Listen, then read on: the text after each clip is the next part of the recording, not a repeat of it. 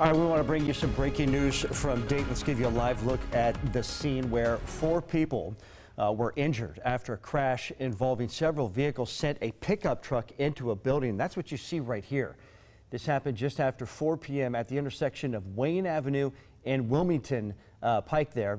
Uh, police have not said how many vehicles were involved in this crash, but four people have been injured. Getting a tight shot there of that truck into that building.